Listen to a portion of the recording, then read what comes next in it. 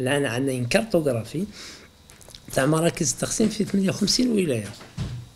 في 58 ولاية. وبالتالي نستطيع عوان الرقابة أكيد مع قوة الأمن بمختلف تشكيلاتها درك أو شرطة أننا نتدخل في هذه المراكز. سندفع الجميع بدون استثناء على أنهم يقومون ببداية ضخ ما هو مخزن في هذه المراكز نحو الأسواق. بالنسبة للخضر والفواكه نترقب باش في شهر رمضان يتم تسويق 1.6 مليون طن. كل المواد الأخرى من بقوليات من حبوب من حليب من قمح إلى آخره متوفرة بكميات هائلة. هذه السنة ممنوع كل أسواق الجملة كل أسواق التجزئة أن تأخذ عطلة الأسبوع حتى بعد نهاية شهر آه إن شاء الله رمضان.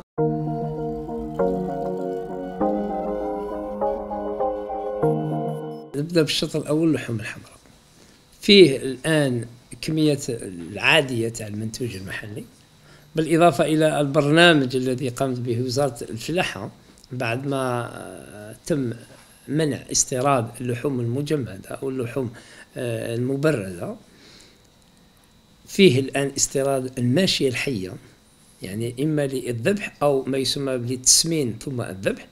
وبالتالي وزارة الفلاحة منحت مئات الرخص من أجل استيراد هذه الحيوانات. وأعتقد أن فقط لشهر رمضان مخصص ما يقارب ألف رأس غنم تمر راس وأضرار. لأول مرة سنصعد اللحم من هذه المناطق إلى الشمال.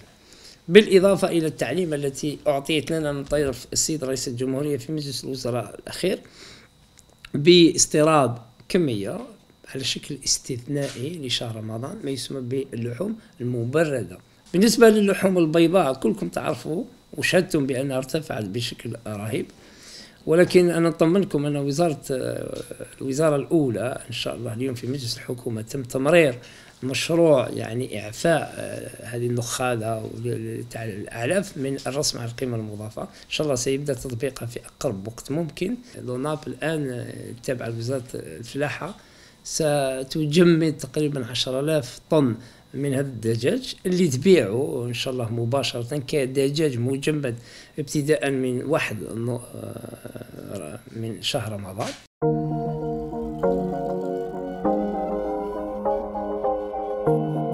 قدرات إنتاجية كبيرة. استهلاكنا الزيت الشهري وما يقارب 48 ألف طن في الشهر. ما تم إنتاجه فقط على سبيل المثال الحصد في شهر جانفي يفوق 51 ألف طن.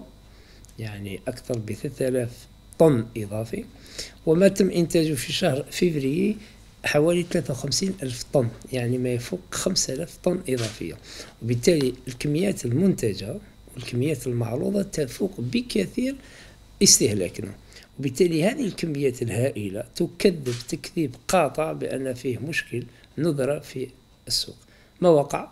مع الأسف الشديد هذه الأيدي غير النظيفة استعملت الوسائط آه، الاجتماعية واستعملت مع الأسف الشديد نقولها بعض القنوات الخاصة في ترويج إلى نذرة هذه المادة في الميدان مما خلق معروف عند الشعب الجزائري ردة فعله كانت عنده ردة فعله سلبية وغير سلوكاته الاستهلاكية.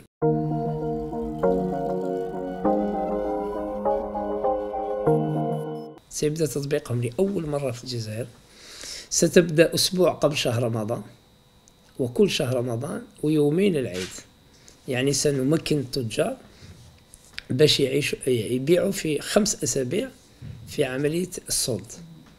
اللي ماهوش مطلوب من تاجر يدي طلب نحن إن شاء الله في الأيام القليلة القادمة سنعلن رسميا على فتح هذا المجال للجميع بدون استثناء.